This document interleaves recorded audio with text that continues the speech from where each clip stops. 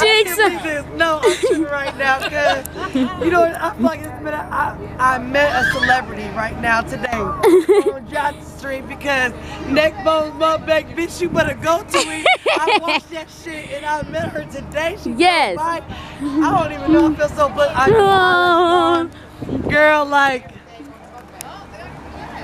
like I'm blessed, yo. Like straight blessed. If you don't know, you better go. You better subscribe.